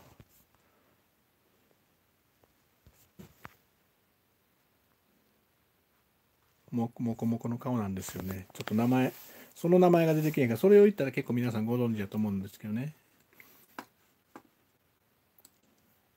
もうね年取るとダメですえっ、ー、とねシルバー系統の犬でしたよね確かね。よいしょ。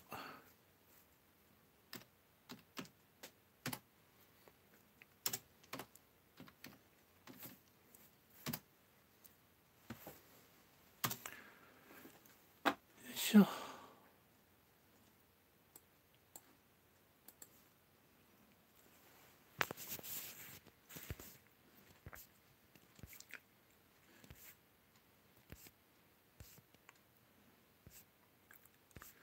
考えてるんじゃないんですよ。調べてたんですよ。あれ出てけえへんな。昔ポンポンって言うとったんやけどな。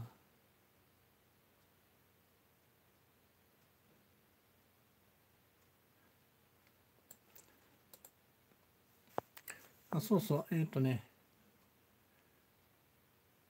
オールドイングリッシュってわかります？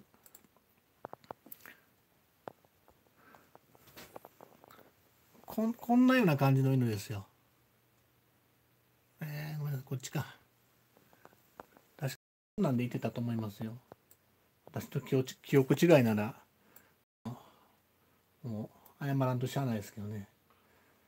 なんかね、違う名前がもともと本当あるんですけど、そういうふうに私らは呼んでました。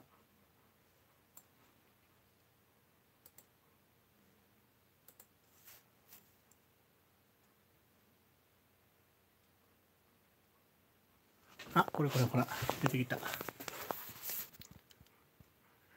これ、ポンという犬。ポーリッシュローランドシープドッグ。こういうこういう感じで、これ、これはシルバーじゃないですけどね。こういう感じの犬。これもね、以前、うちの近所で歩いてるの見ました。毛色はね、あの、あるんだと思います。ほら、ポンという犬。やまあ私はねあの何でもあの知ってるわけじゃないんでね犬のことをね、えー、あの結構ねええ加減なことも言うてますからね。気をつけてくださいよ皆さん。騙されんように。信じるか信じないかはあなた次第です。というやつですからね。で私この方にねその方に以前あの立ち止まってね聞いたことあったんですよ。そしたらあのその方もねポンですっていう話をされたんでねそれが多分本人さんが言われたんで正解だと思います。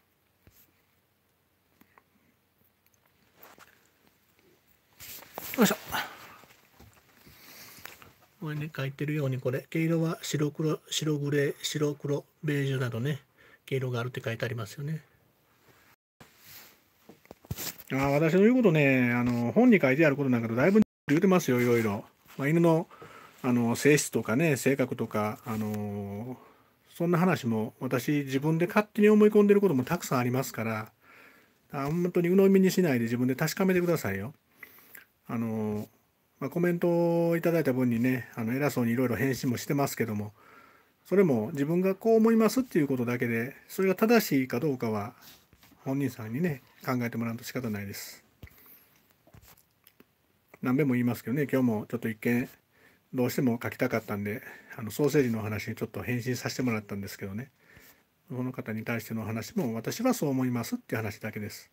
正しいかどうかは本当にわからないんです。ただ私は自分の犬に対して白と仏器に対して正しいと思うことをしてるしいいと思うことをしてます。僕私はね喜ばしてあげたいんですよ。あの嬉しい時間楽しい時間。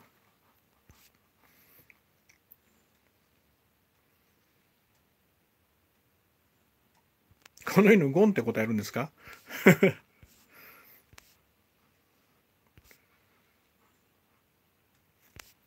うんあの自分のね思うことをあの私が大事に思ってることっていうのはやっぱり、まあ、皆さん見ていただいてた食べ物とかねそういうことにあの気付いていただいてる方も多いと思いますけどその部分にあの触れられてたんでね食べ物に対しての考え方を書かれてたんで私の思ってることをちょっとまあ正直なところを書かせてもらったんですよね。いきなりあんな文章見たらねあの攻撃されたって思われるかもしれませんけど決してそうじゃなくて本当に自分が思ってること大事なことに触れていただいてたんでねその私の考え方を書かせてもらいました。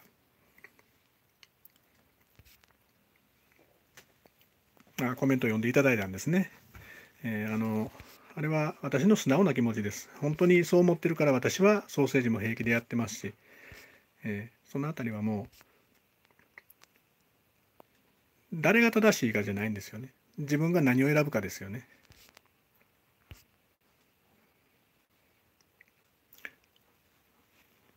あのワンちゃんの治療のこともそうですよね。そうそう本当信じるものが救われるんです自分のやり方が正しいと思ってそれ選んだら、まあ、この子らはねそれしか受け入れようがないんで満足してくれるという自負があればもうどんな道選んでも大丈夫だと思ってます。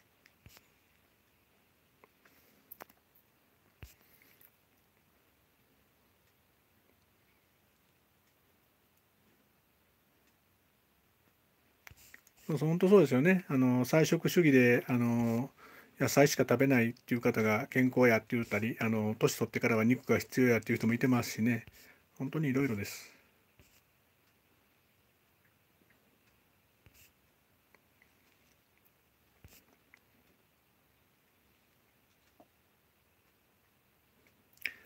あそれそれぼちぼち皆さんもお忙しいでしょうし。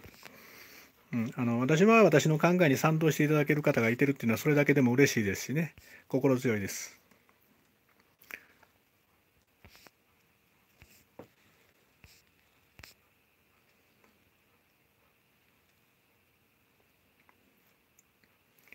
ブッキー。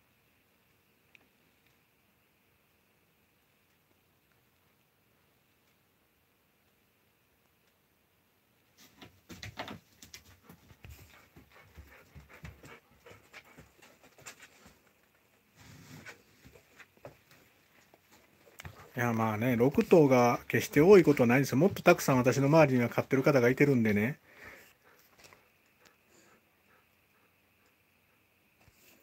もっともっとねたくさん経験されてる方もいらっしゃいますよ。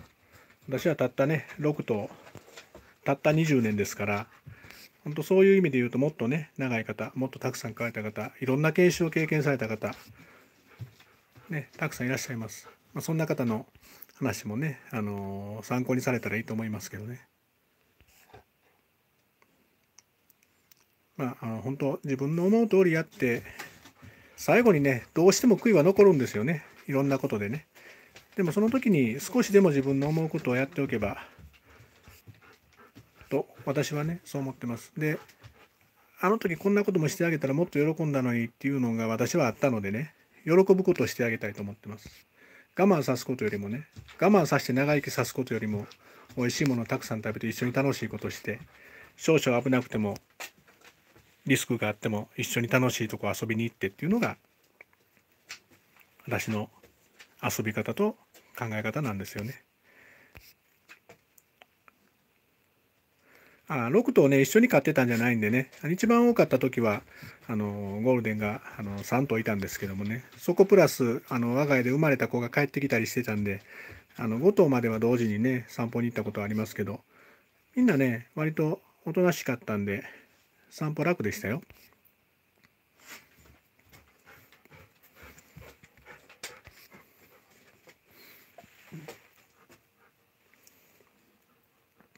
早くお座りしなさいよ。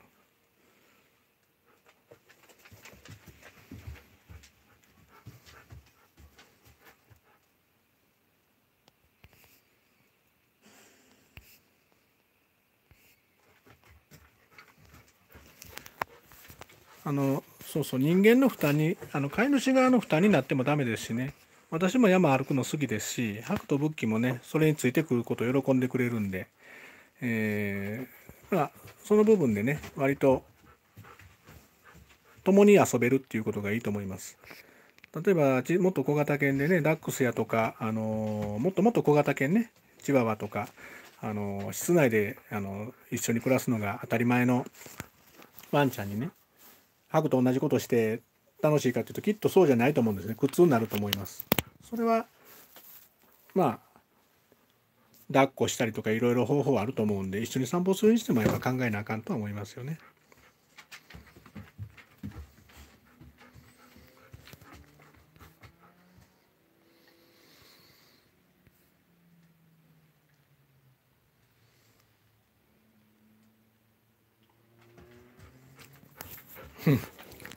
うん、ここにあります。せい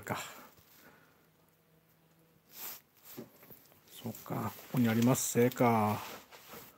もう、ここにありますせって言われたら。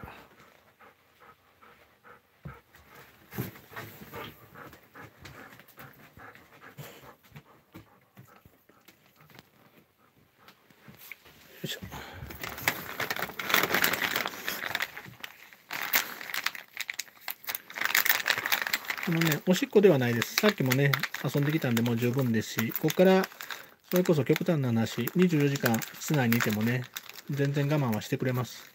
まあ、そんなことしないんですけどね、それぐらい、あのー、十分許容範囲はあるんで、大丈夫だと思います。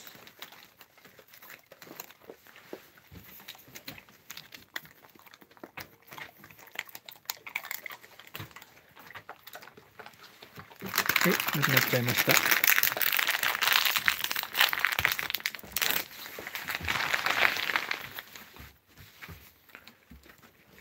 はい、えー、ぼちぼち、あの、終わらんと、皆さんにもご迷惑かけますんで、これぐらいにさせてもらいたいと思います。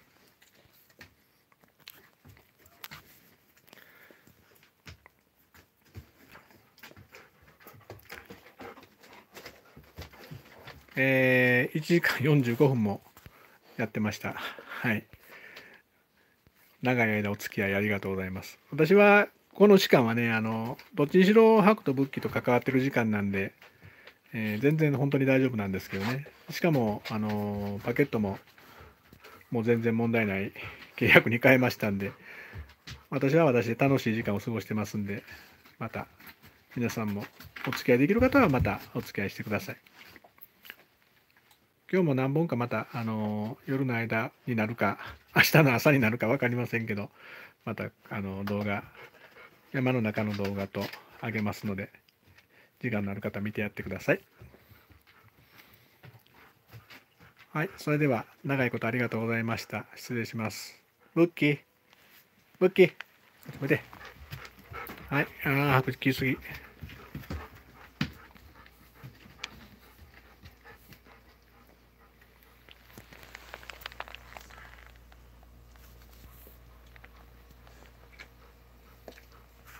はい、失礼します。ありがとうございました。皆さんありがとうございました。